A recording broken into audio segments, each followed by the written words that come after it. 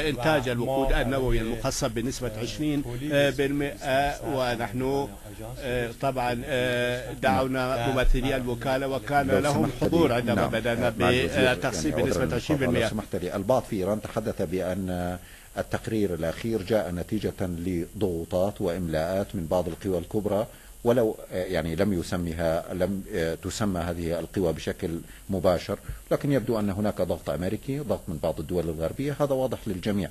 وأيضا في الداخل الإيراني البعض تحدث عن إملاءات وعن ضغوطات. ما أريد أن أسألك عن فيما يتعلق يتحدث التقرير عن دراسات مزعومة ويبدو أنه يقول بأن هناك كثير من القضايا العالقة يجب على الجانب الإيراني أن يجيب عليها.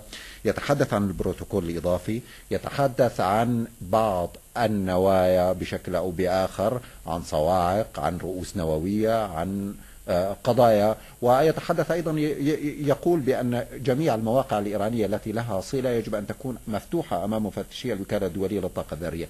هذه الملاحظات التي جاءت في التقرير أزعجت الجانب الإيراني بالطبع وهناك دعوات هنا النقطة الأساسية. البعض يقول يجب أن يكون هناك رد إيراني عملي على هذا التقرير والبعض ذهب أبعد من ذلك يفكر بالخروج من ال NPT أود أن أسمع منك. نعم معالي الوزير. بله. البته به لحاظ کلی بدنه های سازمان های بین المللی عموما أن هيكليات المنظمات الدولية عادة تكون متأثرة من قبل بعض القوى. ومن قبل بعض الدول التي لها تأثير على تلك المنظمات. وهذا شيء متعارف عليه ونعرف ولكنني أردت أن أقول أن تقرير أمانو أو أي تقرير آخر يصدر من من قبل من قبيل شخص على شاكلته وهو قد بدأ مهمته توا. فبالتأكيد أن مثل هذه التقارير لا تخلو من الإشكاليات ولا بد من سحق كما يقولون سحق الماكينة وتجفيف وحتى ينضج أومانو ونلاحظ تقاريره المستقبلية. ولكن المتم المتمم هو البروتوكول المتمم هو تطوعي وليس إلزامي أو إجباري هو اختياري ولكننا وخلال مدة من الزمن ولكي نثبت حسن نوايانا عملنا وتقيدنا بهذا البروتوكول ولكن فيما بعد رأينا ليست هناك حاجة. أما فيما يتعلق بالتحقيقات المزعومة أعتقد أن على على أمانو أن يدرس أو يقرأ من جديد تلك التقارير وحتى يعرف أن إيران قد ردت على كافة تساؤلات الوكالة.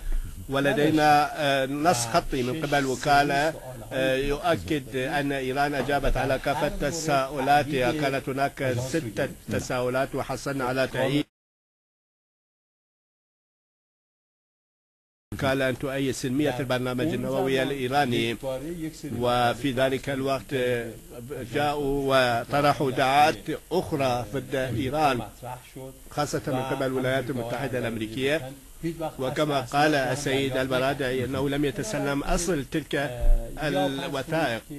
بعضی از حوزه هایی که آژانس وأيضا فيما يتعلق ببعض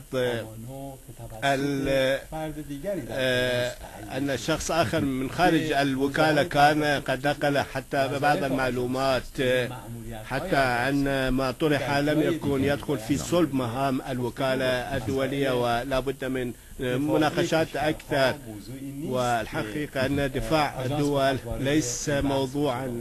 تستطيع الوكالة أن تدخل أو تخوض غمار مثل هذه الأمور. وعلى حال هناك أطر قانونية تحدد الصلة بيننا وبين الوكالة الدولية. للطاقة الذرية أعتقد أن السيد أمانو إذا ما وصل مهامه وبمرور الزمن سوف يصبح أكثر ناضجا وسوف يدرك حقيقة هذا الملف الملف النووي الإيراني ونحن نتمنى له بالتوفيق. مع الوزير رد إيراني على هذا التقرير. هل من رد؟ هل من خطوات عملية؟ البعض في الداخل الإيراني يطالب بأن يكون هناك رد. ببینید ما بخش هایی که در این طبعا الأجزاء بعض الأمور التي جاءت يعني عفوا معالي الوزير. أود أن أسأل يعني هل من الممكن أن الخطوة الإيرانية في مجال تخفيض مستوى التعاون مع الوكالة الدولية للطاقة الذرية؟ على سبيل المثال. كإحدى أساليب الرد؟ ما بفعاليات هایمون با نحن سنواصل تعاوننا وتعاطينا وتعاملنا مع الوكالة الدولية إذا لا يكون هناك تخفيض بسبب كرد فعل يعني يعني أرجو أن تكون قد وصلت الترجمة. لا يكون هناك خطوة إيرانية بتخفيض مستوى التعاون مع الوكالة الدولية ردا على هذا التقرير الذي يحمل في طياته بعض السلبيات. ما ما همكاري هاي قانونية كلا نحن سنواصل تعاوننا القانوني مع هذه الوكالة. نعم. نعم. مع الوزير فيما يتعلق هناك تحرك يعني الجميع يعلم أن مجموعة الست خمسة زائد واحد هناك تحرك باتجاه فرض عقوبات جديدة على الجانب الإيراني والبعض يقول بأن هذه العقوبات يجب أن تكون عقوبات رادعة عقوبات قاسية. كما الولايات المتحدة الأمريكية أو فرنسا أو بريطانيا. والبعض الآخر يقول بأن العقوبات يجب أن تكون أقل شدة بحيث أن لا تشل إيران كما الموقف الروسي. والبعض الآخر ربما موقفه لا يريد أن يفرض عقوبات على إيران ونوعا ما لديه تحفظ كما الموقف الصيني. الآن إذا تحدثنا عن آفاق فرض أو إصدار قرار جديد من مجلس الأمن الدولي هل هناك إمكانية أن يكون هناك قرار في المستقبل المنظور؟ وما هو الرد الإيراني نعم علي الوزير. من فکر میکنم که باید یک نعم. برأيي يجب أن تكون هناك دراسة حقيقية للظروف في المنطقة وأيضا الظروف التي تسود الولايات المتحدة الأمريكية وحقيقة الأمر أن المنطقة ومنذ ثلاث سنوات فصاعدا السياسات الأمريكية أصبحت في حالة فشل. موضوع موضوع العدوان الإسرائيلي الصهيوني على لبنان وأساسا أن بعض دول المنطقة قالت إذا سكتتم أنتم فأن المقاومة سوف تنكسر يعني في خلال الشرق الأوسط جديد كما وزيرة الخارجية الأمريكية. بله. و ما در اونجا شاهد بودیم که ولكننا لاحظنا أن الكيان الصهيوني وتبع لسياسات جورج بوش مني بفشل ذريع. وبعد ذلك جاءت أحداث غزة وقد احتفلنا قبل عدة أيام بالذكرى الثانية للعدوان الصهيوني على غزة وهناك على الرغم من الجراحات وعلى الرغم من وقوع عدد كبير من الشهداء والجرحى وأعمال الدمار والتخريب ولكننا في النهاية لمسنا هزيمة أخرى أو ألحقت هزيمة أخرى للكيان الصهيوني ما زالت تبعاتها تلاحق تل أبيب أو تلمس تل أبيب وأيضا تلامس تل أبيب وأيضا هناك إخفاقات أخرى مني بها الكيان الصهيوني وعلى حال رصيد هذا الكيان ينحسر وأصبح في حالة انفعالية. الولايات المتحدة أيضا في سياستهم الخارجية منوا بإحباطات وإخفاقات فشل ديمقراطي الحزب الديمقراطي وأوباما نفسه عندما ذهب لهذه الدعاية الانتخابية فشل.